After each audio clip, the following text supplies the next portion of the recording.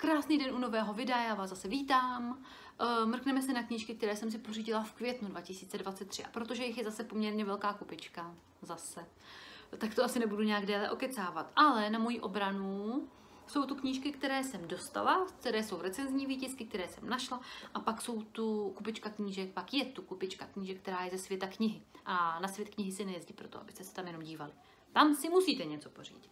Takže půjdeme rovnou na to.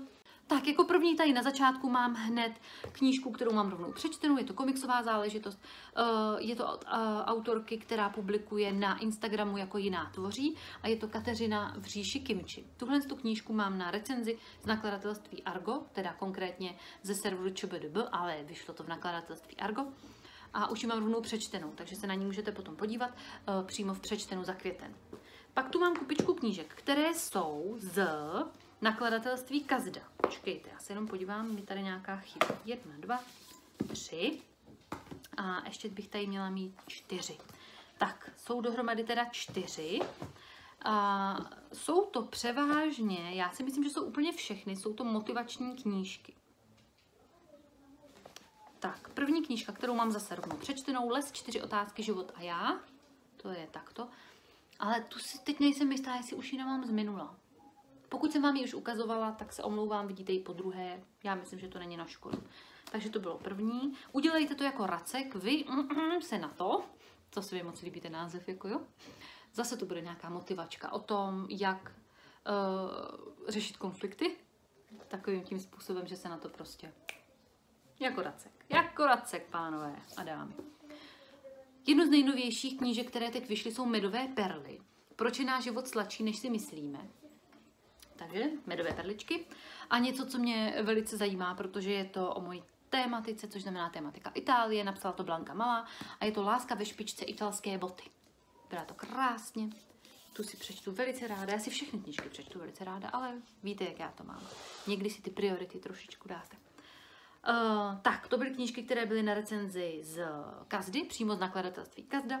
Pak tu bylo jedna z ČBDB, tak se podíváme ještě na jednu z ČBDB. To je, myslím, že poslední recenzní. Ano, asi ano.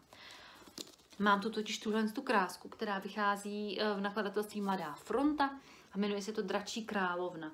Je to o korejském poloostrově, o císařovně ehm, v severní, ne, v Jižní Koreji, nevím kde, a zároveň je tam i prolnutý příběh ze současnosti. Prosím vás, já jsem si vůbec nečetla eh, anotaci. Tady mám napsáno, že je to o osudech poslední korejské královny Min, ne císařovny.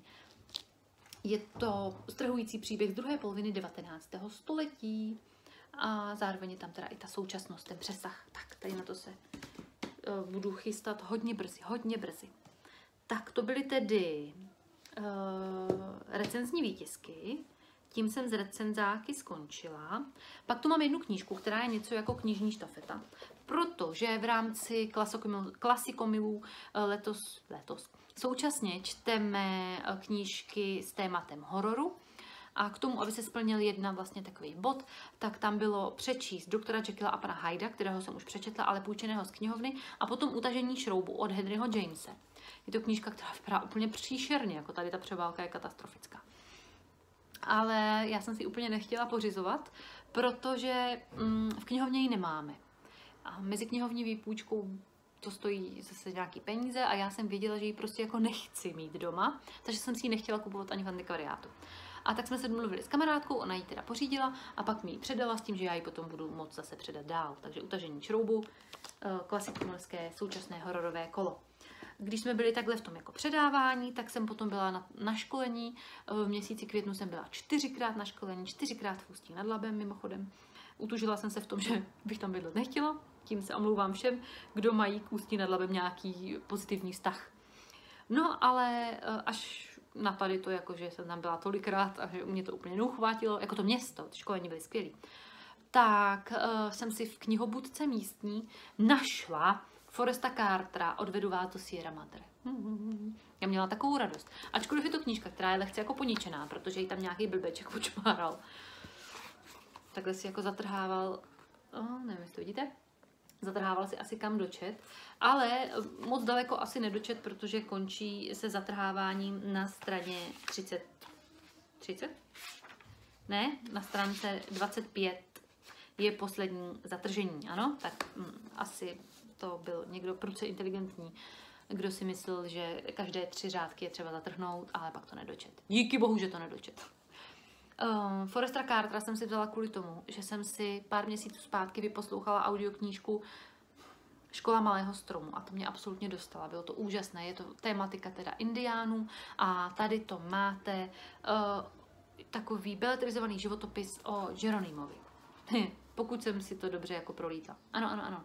Toto kliše vzniklo díky dobovému zobrazení slavného Jeronýma. A právě uh, Forrest Carter se rozhodl, že se na něj podívá bez uh, té legendární nadsázky, která se kolem něho odehrává. Moc se na to těším. Super. Tak to bylo tohle. A ještě tady mám jednu knížku, kterou jsem našla ve čtenáři čtenářům. Je to kniha z nakladatelství Jota a jmenuje se to Přirozeně. Vypadá skvostně. Cesta ke zdravějšímu a šťastnějšímu životu.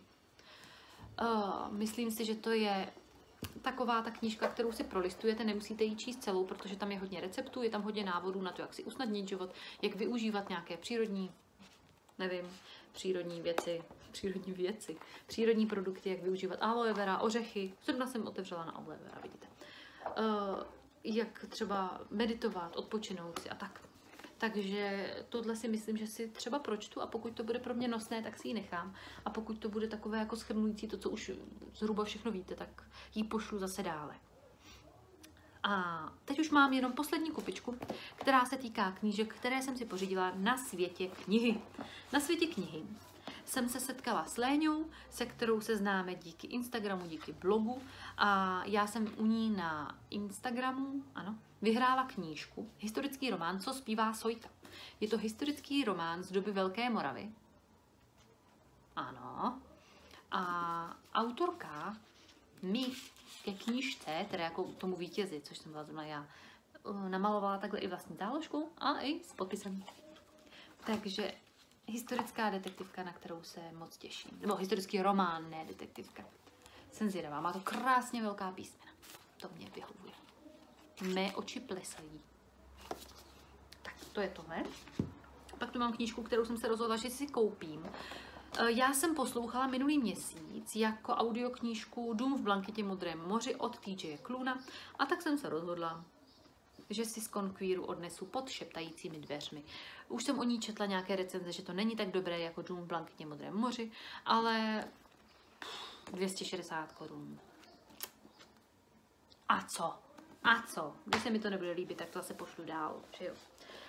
No, pak tu mám jednu krásku, kterou teď zrovna čtu, ale to je kniha, ke které budete mít osobní vztah, kterou budete číst, ale zároveň budete jakoby žít a budete se s ní stotožňovat, protože to je pro fajnšmekry, eh, je to taková hodně obrazová záležitost, já to tak hodně okecávám, že vás napínám.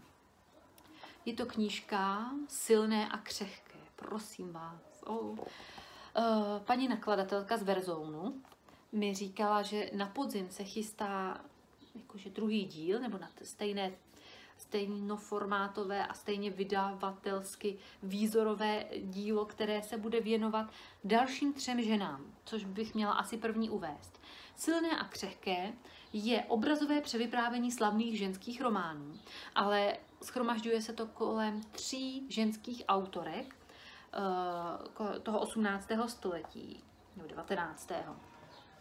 Je to Jane Austenová, Charlotte Bronteová a Louisa May Alcottová. Takže v téhle té knížce uh, se seznámíte s nejznámějšími díly těchto tří žen, ale zároveň i něco málo o těchto třech ženách. Je to překrásně ilustrované. Hm? Je to, je to nádherné, já jako nevím. Tohle je knížka, kterou musíte vlastnit. To ani nejde snad půjčit v knihovně.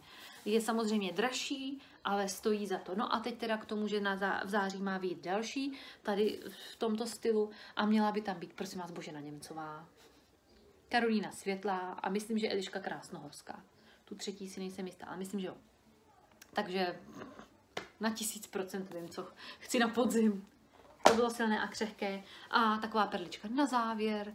Je to velký dárek, který mi dal Olda alias zanícený knihkupec. My jsme se tam setkali na světě knihy, měli jsme tam takový ministra s, s klasikomily a já a Olda jsme se byli podívat na besedě o nově vzniklé audioknížce od Agáty Christý, vlastní životopis, kterou namluvila Alena Vránová. Ta audioknížka má asi 31 hodin. 30. 30, 29 hodin a 20 minut. Vypadá, prosím vás, takhle. Já, když jsem uh, viděla paní Vránovou a věděla jsem, že je to teda od Agáty, kterou miluju, tak jsem skutečně byla v pokušení, že si ji koupím. Ačkoliv bych nemusela díky přístupu do Macanovy knihovny, já vím, že tam za nějakou dobu bude. Ale víte, jak to je, že jo? No a Olda mi potom psala, prosím tě, nekupuj si to. A někde se zase sejdeme, protože jsme se pak rozešli a každý jsme si šli po své ose.